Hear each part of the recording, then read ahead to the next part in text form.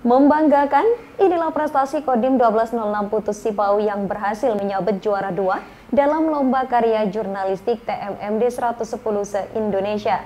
Meski berada di tempat nan jauh di tapal batas negara, namun kerja kerasnya dikenal secara nasional. Kodim 1206 Putus Sibau, wilayah Kapuas Hulu, Kalimantan Barat berhasil meraih juara dua lomba karya jurnalistik. Kegiatan TNI Mandugal membangun desa ke-110 di jajaran TNI Angkatan Darat se-Indonesia. Komandan Kodim 1206 Putus Sibau Letkol Infantri Jamie Oktis Oil SIP menegaskan bahwa keberhasilan tersebut adalah berkat kerjasama dan dukungan semua pihak yang telah memberikan kontribusinya dalam ajang bergengsi ini.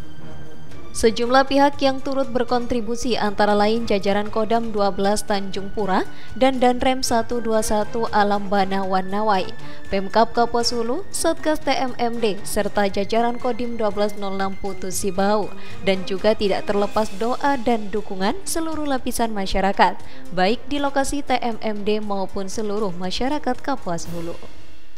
Menurut Dandim 1206 Putus Sibau Letkol Infanteri Jamie Oktis Oil SIP, prestasi yang diraih dalam lomba karya jurnalistik kali ini adalah juara dua kategori dan satgas dan kategori wartawan media elektronik televisi.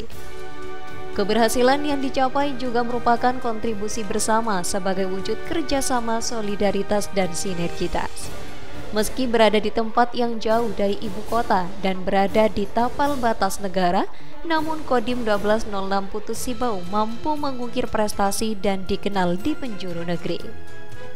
Jamie berpesan hendaknya prestasi yang ada menjadi penyemangat dan cambuk untuk terus meningkatkan produktivitas kerja seluruh satuan sesuai dengan fungsi dan tugasnya.